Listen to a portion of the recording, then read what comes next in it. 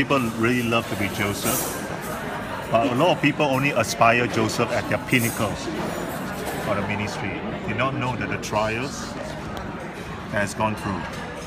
What I feel led to share here is that there is a, the other side of Joseph about giving. Now, both of you are incredibly generous. I hear it from the Lord. When the Lord tell you to give, you will never say no. Even though at times it stretches your faith, and time and time again it actually stretch you, but you overcome it, and nobody outgive the Lord. Yeah. But on the Joseph side, there is another side to learn. Joseph did not open up the storehouse during the famine. So pause a while. This is a new season of a new paradigm that God wants you to have. So there are things where kingdom project the Lord, when the Lord say yes, of course the both of you, he definitely is 100% yes to the Lord. But there will be time you need to inquire of the Lord where certain ministry are in desperate financial difficulties. You need to ask the Lord, and some of these are your friends. So a certain testing will come here right now. And when the Lord say no,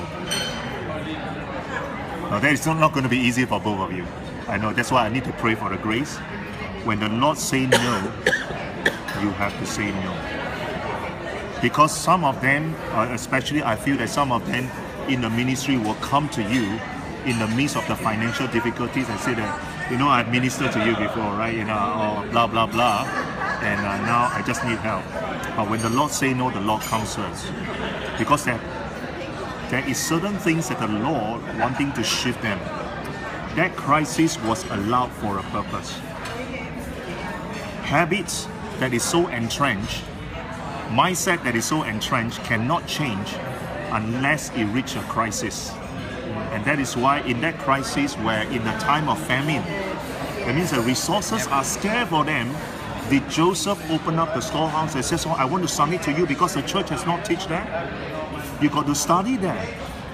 And this is where the apostolic strength comes in. You got to see the whole big picture.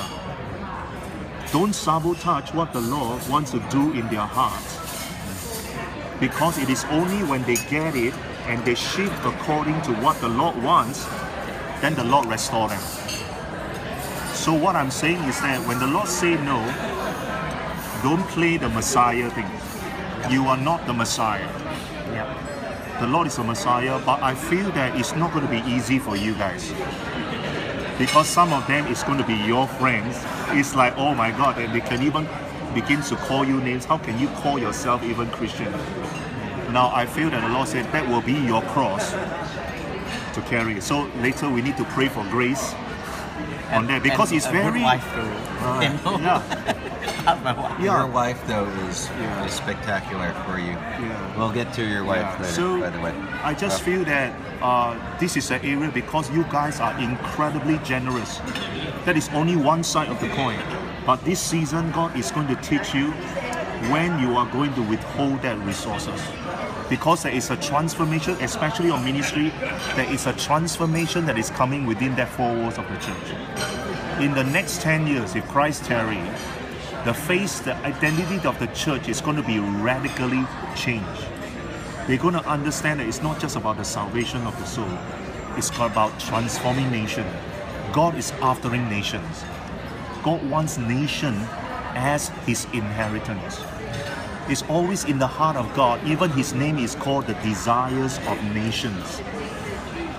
So feel that God, you know, is like because you are so incredibly generous, the Lord says that study Joseph. Some of the thing when I say no, don't release it because there will be trouble. You do because God comes first. God really loves them. But God will have to shift them because certain mindset, certain habit is so deeply entrenched that it needs to reform and transform. And it's only when they come to the terms of the law, then the law will speak to you to release it. So I, I feel that that's specifically on some ministry, you know, where especially those that build their own empire, I just feel that they are about to get into a famine.